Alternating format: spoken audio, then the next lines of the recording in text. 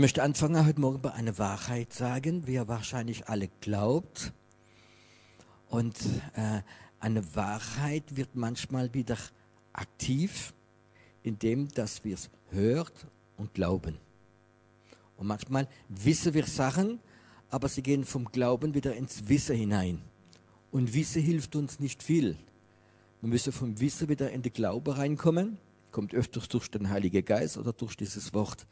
Ich möchte heute Morgen mal einen Satz sagen und wahrscheinlich glaubt ihr diesen Satz. Ich will ihn ganz neu aktivieren. Gott ist Heilung. Stimmt das? Gott ist Liebe. Gott ist Leben. Und das sind drei Wahrheiten, die da sind. Und trotzdem haben wir Mangel davon. Gott ist Heilung, Gott ist Liebe. In der Liebe ist Annahme, in dieser Liebe ist Vergebung drin. Und trotzdem fehlt uns ganz viel davon. Und ich möchte mal sagen, wir müssen wieder lernen, Gott zu begegnen. In die Gegenwart Gottes schon reingehen. Wenn du in die Gegenwart Gottes reingehst, dann wirst du spüren, es ist Liebe da, es ist Heilung da, es ist Annahme da. Und vielleicht heute Morgen werde ich ein Bild sprechen, was verhindert denn uns, da reinzugehen? Ich sage dir etwas, du wirst niemals Gott begegnen können durch deinen Verstand und auch nicht durch deine Gefühle, sondern es geschieht nur in deinem Geist. Und dann gibt es etwas, was uns fast immer verhindert, in die Gegenwart Gottes reinzugehen, und das ist Stress. Du kannst nicht als gestresster rennen die Gegenwart Gottes sagen, ah, ich bin jetzt der Gegenwart Gottes geht nicht, weil deine Gedanken und deine Gefühle sind so aufgewühlt, dass du es nicht kannst. Und unsere Gefühle und unsere Gedanken sind so viel drin, Stress drin, und wir leben in einer Stresswelt. Und dieser Stress ist sogar in die Gemeinde und in die Kirche reingegangen. Stimmt das? Wir haben so viel Programm Stress. Und ich möchte mal sagen, äh, Kinder Gottes müssen lernen, in die Gegenwart Gottes gehen, wo sie Heilung, wo sie Vergebung, wo sie Annahme, wo sie Leben, wo sie alles bekommen in der Gegenwart Gottes. Und das kostenlos.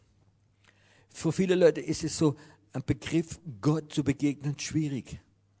Und es ist jemand gekommen, der hat uns geholfen. Und Jesus hat gesagt, ich bin das sichtbare Bild von einem unsichtbaren Gott. Und wenn du ein Problem hast du mit dieser Person von Gott oder Gott, dann möchte ich dir sagen, es ist einfach ganz wichtig, dass du äh, stehen, Jesus ist dieses Bild, wie uns hilft, Gott zu verstehen, wenn man wenn etwas da fehlt, um ihn zu verstehen, wenn du vielleicht ein, kein gutes Vaterbild oder etwas anderes hast. Jesus ist einfach dieses Bild, wie uns Gott mehr offenbart hat wie jeder andere. Ich gebe euch mal ein Bild gegen, gegen Stress. Die Jünger waren auf dem und es war ein Sturm die Wellen waren hoch und die waren alle gestresst. Panik, Todesängste und Jesus hat geschlafen. Das ist doch ein schönes Bild gegen Stress. Wenn du Stress denkst hast, Jesus schläft, du musst ihn nur wecken. Verstehst du? Du bist voller Panik und er ist entspannt. Er liegt da und sagt, Jesus, nicht in schüttel, nein, ganz sanft Jesus. Und du wirst sehen, wie dein Stress weggeht, wenn du ihm begegnest. Und ich glaube, dass es etwas, wie wichtig ist, wieder dieser Gott begegnen, nicht mit deinem Verstand, nicht mit deinem Stress, nicht mit deinen Gefühlen, nicht mit deiner Theologie, sondern, ich will es mal so sagen, für einige Leute ist es vielleicht leichter zu verstehen, tief mit deinem Herzen. Es gibt Leute, die haben heutzutage so eine oberflächliche Beziehung. Und das ist so ganz als Pastor möchte ich das sagen, habe ich das kennengelernt, wie ganz viele, meistens jüngere Leute sich verlieben in die andere Person mit der Überzeugung, sogar noch als Christ, das ist von Gott. Verlieben ist nicht immer von Gott. Du kannst dich auch verlieben in einen ganz okkulter Typ. Habe ich auch schon erlebt. Die Leute sind verliebt und sagen, was du, eine Frage ich immer, kennst du ihn? Ja, Komm mal vor, der liebt dieselbe Autos wie ich, der hat dieselbe Musik wie ich, der geht in denselben Urlaub wie ich, der macht dasselbe Sport wie ich. Das ist nicht jemand kennen. Das ist oberflächlich. Kennst du das Herz zum anderen? Hast du eine Beziehung mit dem Herz zum anderen? Ist es ganz tief drin? Und meistens merke ich, dass Menschen oberflächlich sich kennen und nach kurzer Zeit gibt es Scheidung. Du hast den anderen gar nicht gekannt. Du hast vielleicht Interesse gehabt an seinem Aussehen, an seinem Beruf und viele Sachen und es gibt Knatsch. Und ich glaube, es ist wichtig, eine Herzensbeziehung der anderen von Herz zu Herz zu kennen. Und eine richtige Beziehung ist immer von Herz zu Herz, ist nicht Gefühl, ist nicht Verstand, sondern es ist Herz von Herz.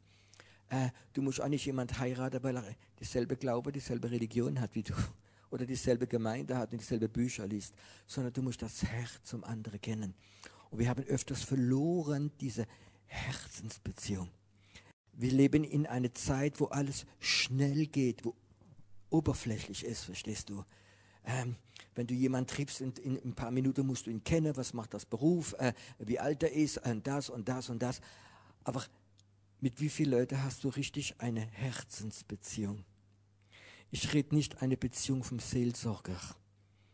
Was, wenn Leute zu dir kommen und erzählen dir ihr alles, was furchtbar ist. Ich möchte mal sagen, die kotzen sich fast aus. Alles da. Aber du kennst die Person trotzdem nicht.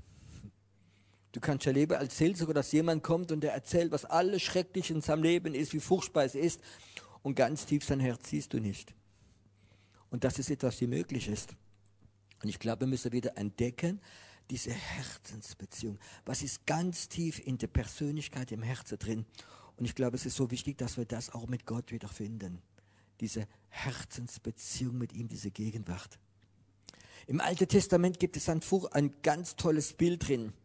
Da gibt es ja diesen Vorhof, dieser Innerhof, das Heiligtum und das Allerheiligste. Eine Frage, war Gott auch im Vorhof? Ja, ja aber homöopathisch. Und ich glaube nicht, dass die Leute im Vorhof eine starke Gegenwart Gottes gehabt haben, sondern der Vorhof ist der Ort gewesen, wo man sich vorbereitet, um Gott zu begegnen. Im Vorhof tanzt man, im Vorhof hat man Lobpreis gemacht, da haben äh, Lieder der Freude gesungen. Und ich muss sagen, das, ist, das hat seinen Platz und es ist okay. Auch in der Gemeinde ist es wichtig, dass wenn Leute kommen, dass sie Freude haben, äh, dass sie sich begrüßen, äh, dass, sie, dass sie hupfen und tanzen und dass sie Lobpreis machen. Es ist alles okay, das, das ist gut. Das hilft uns vielleicht von, vom Normalen ein bisschen runterzukommen, die Emotionen rauszulassen. Aber da gibt es einen Moment, wenn wir von diesem Vorhof in diesen Innerhof reingehen. Und weißt du, nur die Juden durften in den Innerhof gehen. Die Ungläubige dürfte auch im Vorhof rumhupfen, aber es dürfte nicht reingehen in dieses Ja. Und ich glaube, es ist wichtig auch, auch Ungläubige können kommen in den Gottesdienst und können im Lobpreis sagen, es ist tolle Musik, gute Atmosphäre, die Leute lieben sich und es ist ganz toll, ich fühle mich angenommen. Aber es gibt einen Moment, wo der Ungläubige nicht mehr rein kann in die Gegenwart Gottes, außer dass der Heilige Geist oder Jesus ihn ruft. Und er empfängt diese Wiedergeburt. Und da müssen wir offen sein dafür. Es gibt diese Vorhof und dann gibt es dieses Heiligtum. Was ist denn dieses? Äh, äh, es gibt den Innerhof, wie du reingehst, wo du dich vorbereitest, um Gott zu begegnen. Ähm, ich, lieb, ich, liebe dieses Lied, wie man manchmal singen während Lobpreis der Anbetung. Äh, komm, jetzt ist die Zeit, wir beten an. Und du spürst im Lobpreis, jetzt ist die Zeit von der Freude, Hosanna, die Berge verkündigen und plötzlich eine Zeit drin, komm, und du spürst, wie der Heilige Geist dich ruft, in diese Komm in seine Gegenwart zu gehen. Das ist so wie ein Schritt machst in die Gegenwart Gottes hinein. Du willst jetzt in die Gegenwart Gottes reingehen. Dieses Komm.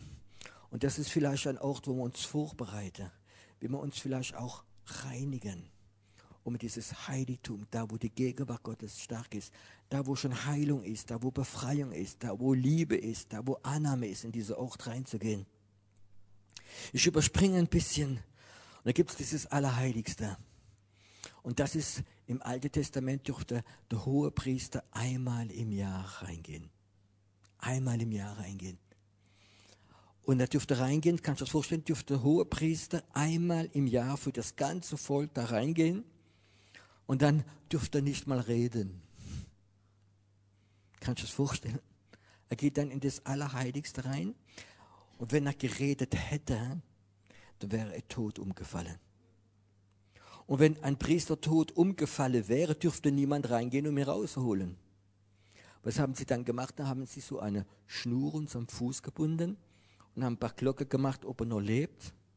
Und wenn er tot umgefallen wäre, hätte sie ihn rausgezogen, weil sie dürfte nicht in das Allerheiligste reingehen. Und dann starb Jesus am Kreuz und sagt, es ist vollbracht. Und dann ist der Vorhang zerrissen. Und das bedeutet, wir, weil unser hoher Priester für uns gestorben ist, dürfen in das Allerheiligste reingehen. Aber es hat sich etwas nicht verändert. Im Allerheiligste, da wo Gott ist, ist es ein Ort, wo nur Gott redet und nicht die Menschen. Und nicht du. Hm. Du kannst dir das vorstellen? Du gehst in die Gegenwart Gottes Stück für Stück. Du betest vielleicht vorher an, du machst Lobpreis, du betest ihn an, du machst dein Leben in Ordnung, du gehst in das Allerheiligste rein und es ist ein Ort, wo Gott redet, wo du nicht mehr redest, wo du nicht mehr betest. Und wenn ich die Menschen frage, das ist der schwierigste Ort, um reinzugehen. Weil deine Seele, meine Seele, die möchte reden. Die möchte Gott alles erzählen, was er sowieso weiß. Das ist doch menschlich gesehen Dummheit. Es kommen Leute zu mir und, und sagen, ja, Piero, hast du Zeit für mich? Und dann kommen sie und möchten mir die ganzen Probleme erzählen. Und sage ich, du, Gott kennt sie doch. Was willst du haben? Und so ist einfach unsere Konstitution, unsere Seele, die rattert immer, die ist wie ein Hamster am Rad drin, die hört nicht auf. Und das verhindert uns, in das Allerheiligste reinzugehen. Ich liebe dieses alte Lied, seid still und erkennt, dass ich bin Gott. Und weißt du was, wir müssen wieder als Christen lernen, stille zu sein. Stille zu sein vor Gott. Wie willst du Gott hören, wenn du die ganze Zeit quatsch? Wenn du die ganze Zeit mit deinem Mann erzählst, Beispiel.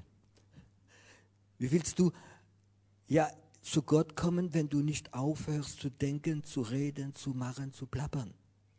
Und ich glaube, das ist etwas, was wir verloren haben. Wir haben verloren dieses ruhig und still werden. Und wenn ich ehrlich bin, auch wenn ich Leute vielleicht verletze, die Katholiken haben mehr Ahnung als wir. Manchmal wir so Charismatiker, wir sind so begeistert, dass wir nicht aufhören, loszumachen. Es gibt eine Zeit, wo Gott sagt, ich würde gern zu dir reden, aber wenn du still wirst. Und ich glaube, das ist so etwas, was wir wieder lernen müssen, auch als Gemeinde in die Ruhe, in diese Stille reinzukommen. Von Programme rauszugehen und so in das Allerheiligste reinzugehen und ruhig zu werden, still zu werden. Und ich merke immer wieder, wenn man in diese Ruhe reinkommt, dann kommt die Gegenwart Gottes. Ich merke immer wieder in einem Raum, wenn ein Raum ganz ruhig wird, ist es ein Zeichen, wenn die Gegenwart Gottes kommt. Wenn ein Raum unruhig ist, verstehst du, und die ganze Zeit die Flasche runterfalle, das mache, auf die Uhr schaue, Nachbarn das Handy klingelt, dann merke ich, da kommt die Gegenwart Gottes gar nicht rein. Da bleibt das alles auf dieser Ebene des Hören von Theologie, von Predigten, aber Gott macht nichts mehr. Ich wünsche mir so von ganzem Herzen Gottesdienste, wo wir ganz wenig machen, wo die Prediger wenig macht und Gott fängt an zu kommen und zu wirken. Kannst du dir sowas vorstellen? Ich habe einen Freund für mich und der war 20 Jahre Missionar in Rumänien. Dann hat er mal abends evangelisiert und dann kommt der Bürgermeister und sagt, könnte sie kommen, meine Frau hat Krebs. Und er sagte, ja. Und da kam dann so diese Frau, die hat Krebs gehabt, ziemlich schon Endstation, sie lag schon im Bett, konnte nicht mehr aufstehen. Und dann ist er hingegangen zu der Frau und hat sich ans Bett gesetzt. Die Frau hat ein erzählt von ihrer Krankheit. Und dieser Missionar hat gar nichts gesagt. Und er blieb eine ganze Stunde sitzen und hat nichts gesagt. Und nach einer Stunde sagt er, so ich wünsche euch, ich gehe nach Hause wieder, ich gegangen. Und die Frau stellt sich so vom Bett auf und die schimpft. Was denken Sie, wer Sie sind? Sie kommen her, ich bin die Frau vom Bürgermeister und schimpft richtig mit ihm. Und böse Worte, der hat nichts gesagt und ist heimgegangen. Der andere Tag ruft der Bürgermeister ihm an und sagt, können Sie nochmal kommen? Und dann kam er nochmal. Und dasselbe saß sich ans Bett und hat kein Wort geredet und hat nicht gebetet. Und er ist wieder gegangen. Und die Frau war total gesund. Gott war es. Versteht ihr? Gott hat sie gesund gemacht. Nicht das Gebet. Gott hat es gemacht. Kannst du das vorstellen, dass so viel von Gott auf dir ruht, dass du jemanden besuchst, sitzt dich nur hin und die Gegenwart Gottes, die auf dir ruht, heilt und befreit. Kannst du das vorstellen, dass Gott so stark kann kommen, dass du nicht mehr betest, dass du nicht mehr redest und plötzlich merkst du, dass deine Knoten weg sind, dass deine Schmerzen weg sind, dass Ablehnung weg ist, dass es Drang reden zu müssen, dass es weg ist und dass du ganz ruhig wirst. Und plötzlich ist Gott da und er macht es. Ich glaube, das ist etwas, was wir lernen müssen. Wir müssen lernen, dass Gott kommt und dass wir schweigen in seine Gegenwart. Wir müssen lernen, unsere Seele zu kontrollieren. Verstehst du? David sagt zu seiner Seele, komm mit, wir beten Gott an. Das bedeutet, die Seele wollte wahrscheinlich nicht. Die Seele wollte vielleicht was anderes machen. Aber er hat seiner Seele gesagt, wir beten Gott an.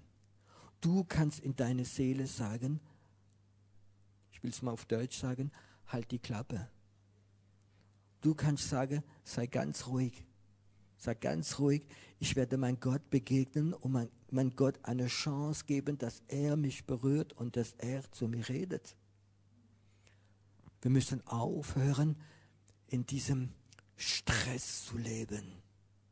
Dieser Gott, der heilt, der kennt dich, er kennt deine Probleme.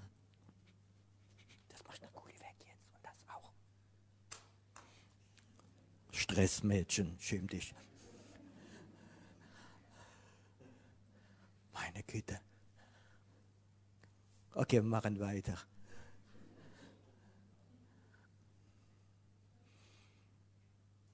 Stell dir mal vor, wir werden das lernen, eine Stunde zu haben, in der Gegenwart Gottes ganz ruhig zu sein.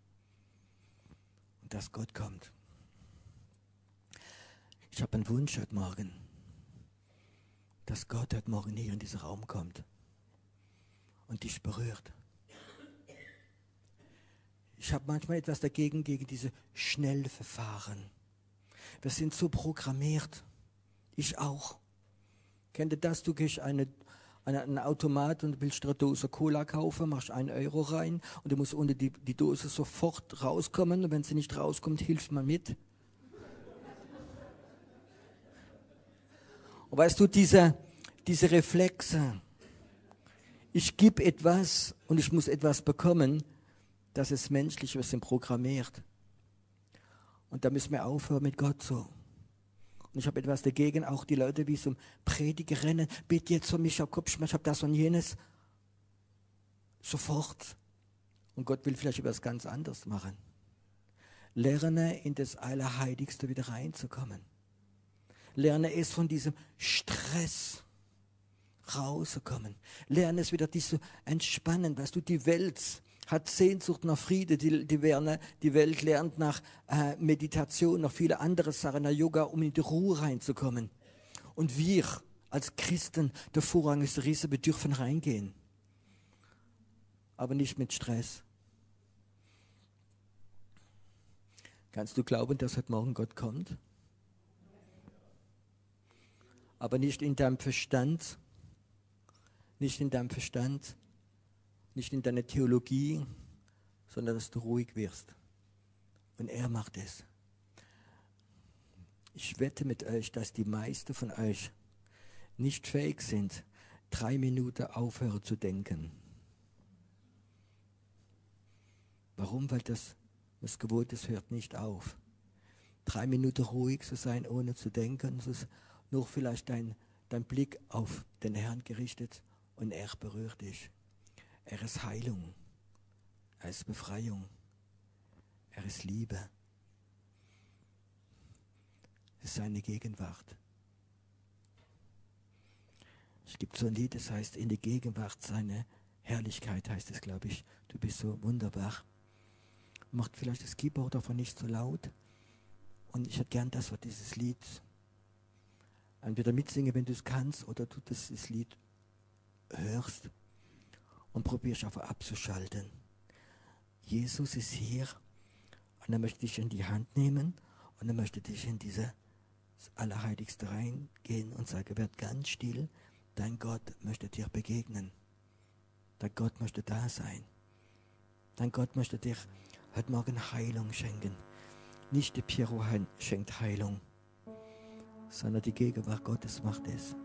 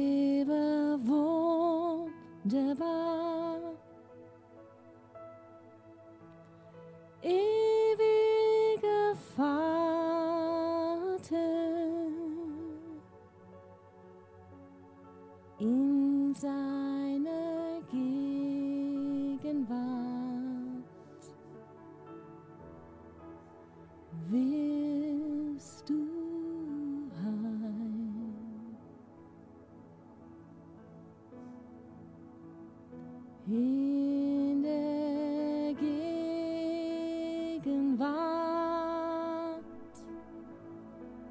Seiner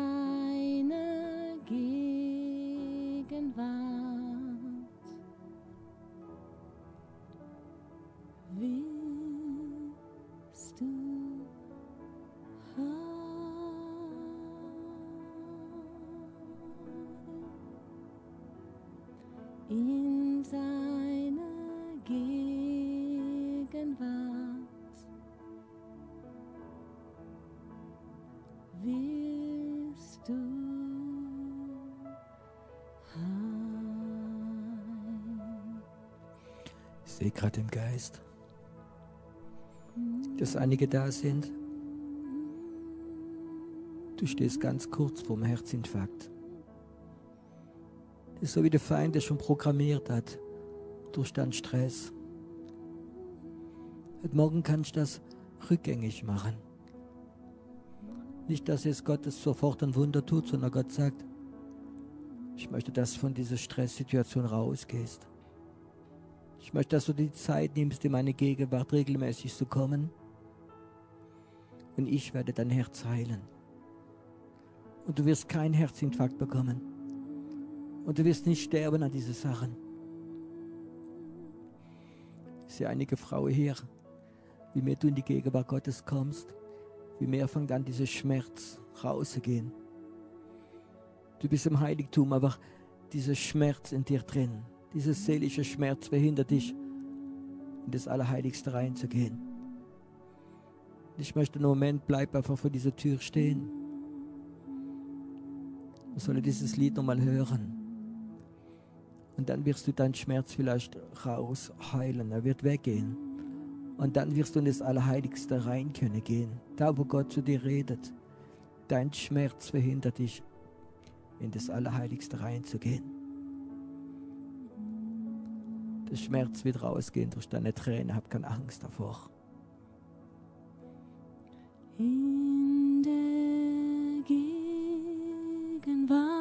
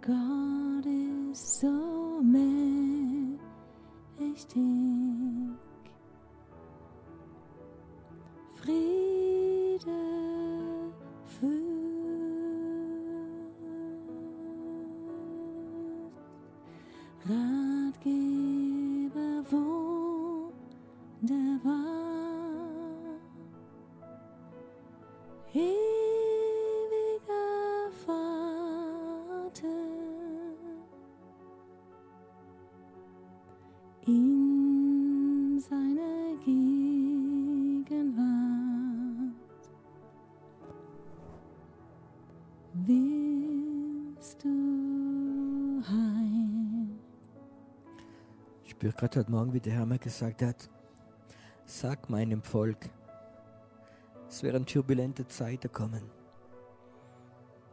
wo Ängste über die Erde wird kommen, auch über Europa,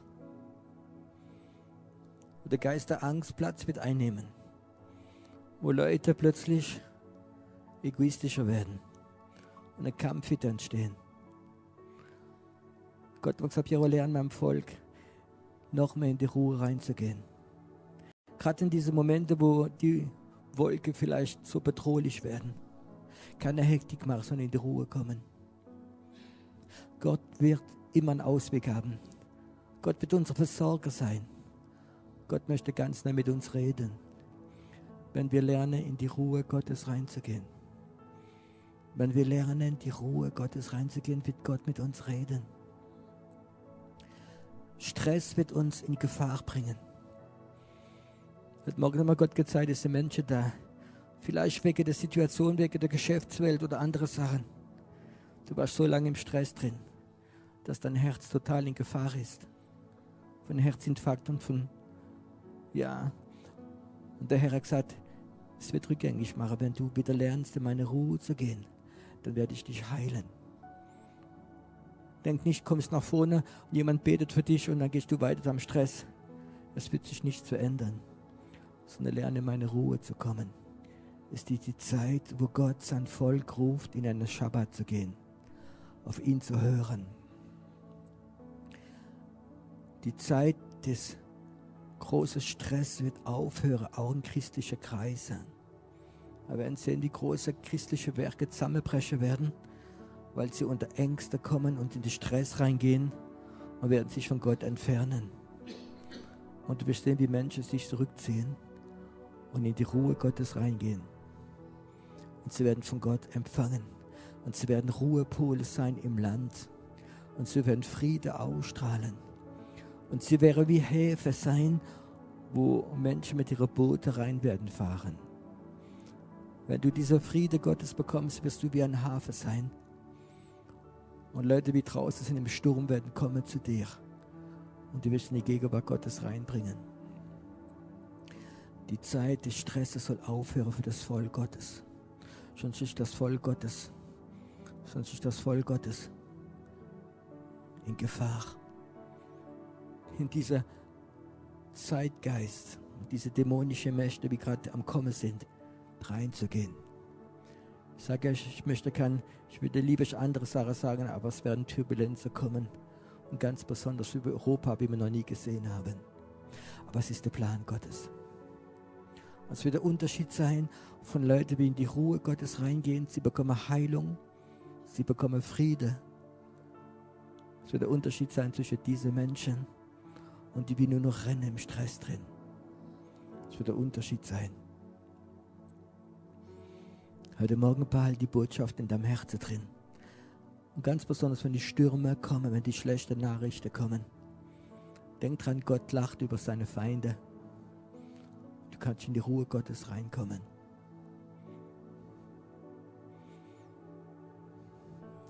Wenn du heute Morgen da bist und du hast, du weißt das, so wie ein Stein auf deiner Brust, du weißt, dass da eine Gefahr ist, weil dieser Stress dich so nervlich berührt hat.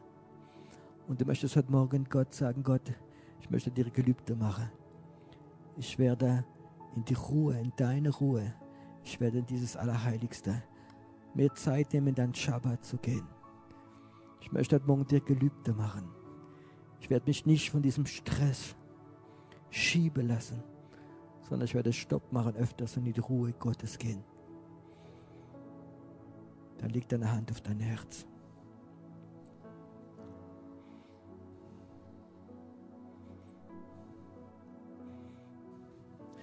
Vater, du siehst, wie wir alle so getrieben waren. Wir waren getriebene Kinder, obwohl du uns versprochen hast, an Ort der Ruhe zu geben. Vater, diese Flur, wie du ausgesprochen hast über dein Volk, wie du gesagt hast, sie werden nicht mehr in die Ruhe Gottes kommen. Dieser Fluch soll nicht sein für uns, sondern die Tür soll offen sein, dass wir in die Ruhe Gottes reinkommen,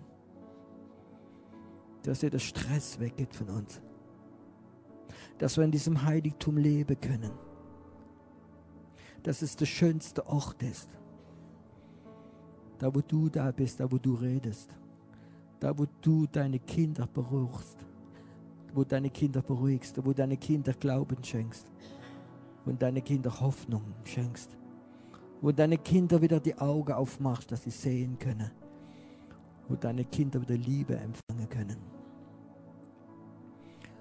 Heute Morgen lass diese Ort einen Moment offen sein.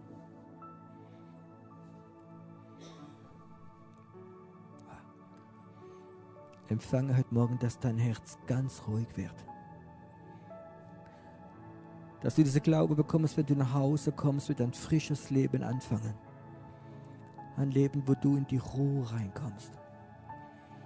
Ein Leben, wo du in die Ruhe reinkommst.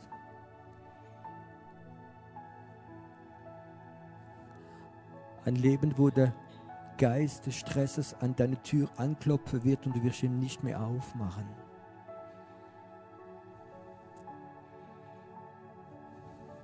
Der Ort der Ruhe ist offen für dich. Bleib noch einen Moment drin. Sing das Lied noch einmal und die, es nach Sehnsucht haben, es mitzusingen. Sing es einfach mit. In der Gegenwart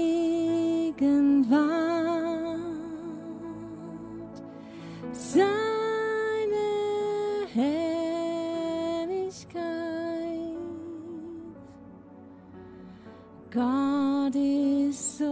so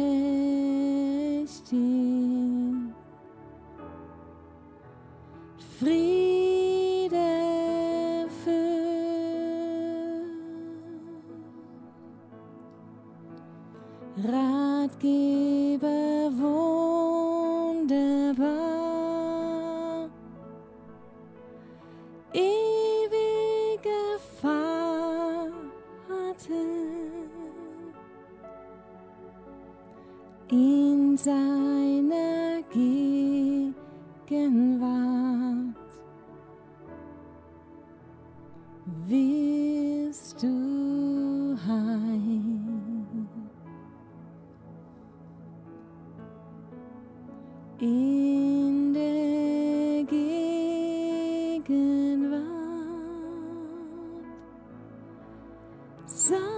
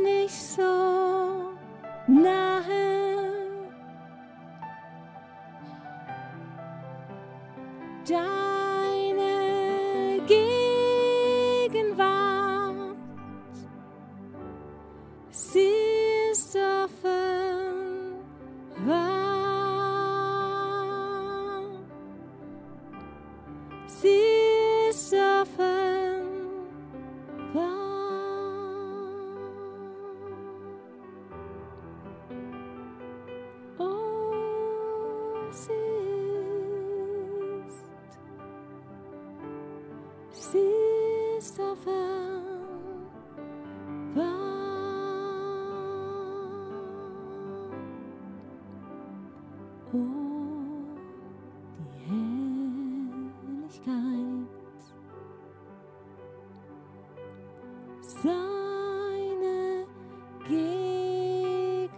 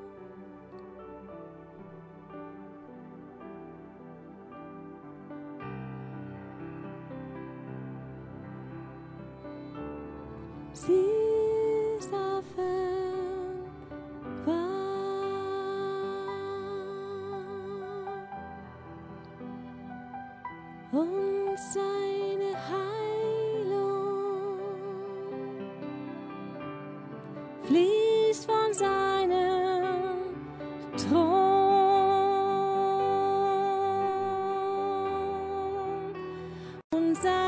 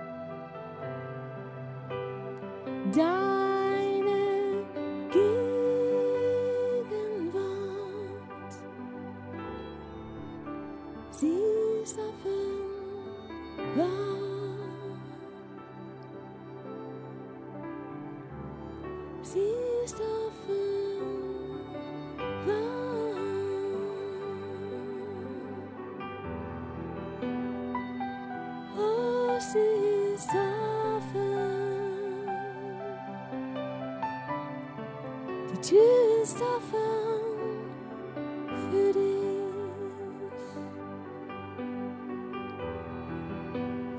Du ist offen. Sie ist offen.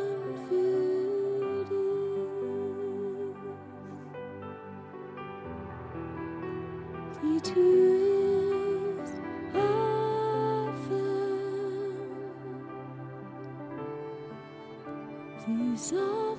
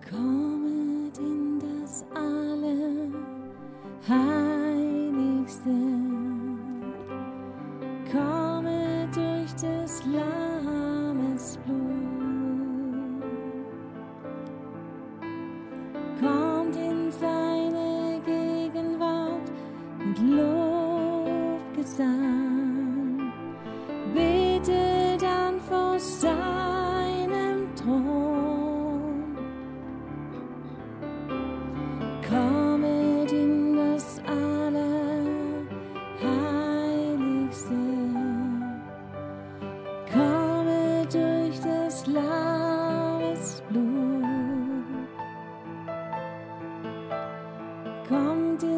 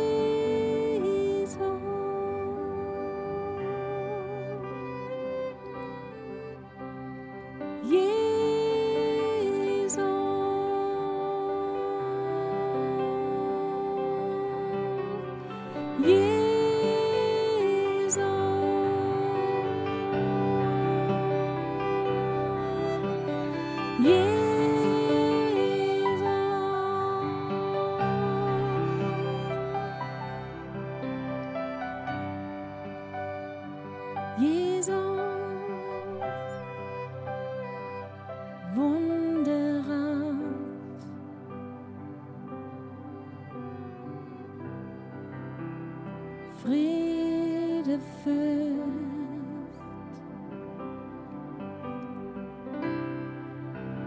Gnadenfond.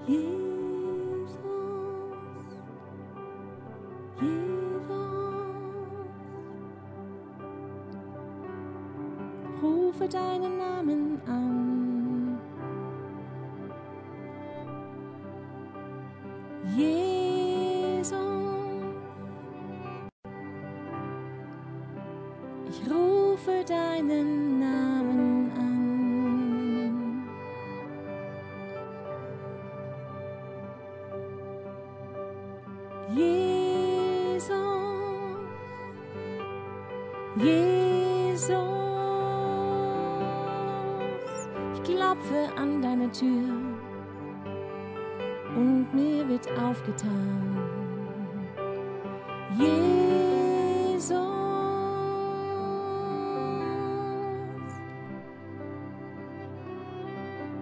ich sage dir, dass ich dich liebe und du bist alle Tage bei mir bis an der Weltende.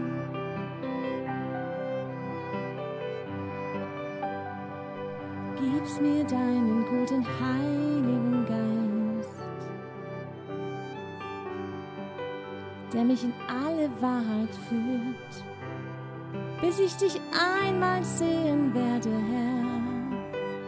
Oh, deine Herrlichkeit. Die Tür ist offen für mich. Die Tür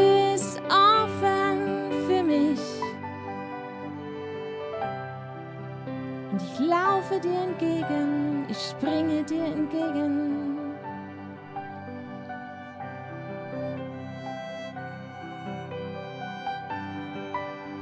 Oh, ich laufe dir entgegen. Ich tanze dir entgegen, ich springe dir entgegen, so wie du mich gemacht hast.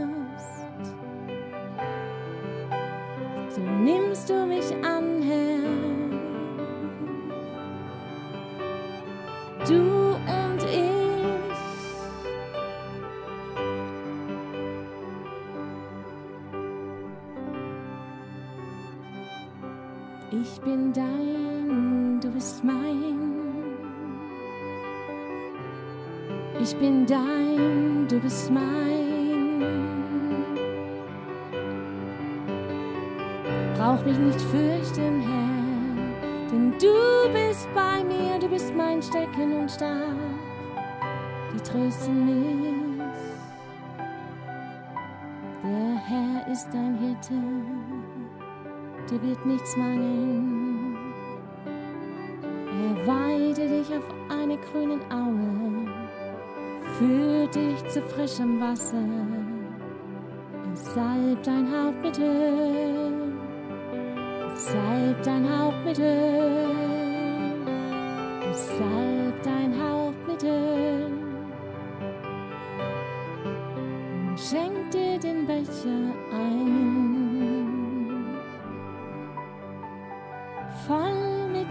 Lebenswasser.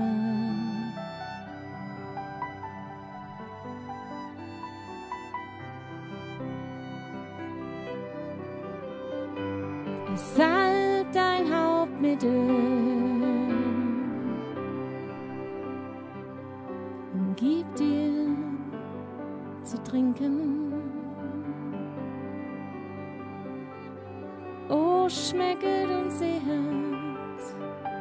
wie gut der Herr ist. Seine Güte, seine Gnade, seine Herrlichkeit.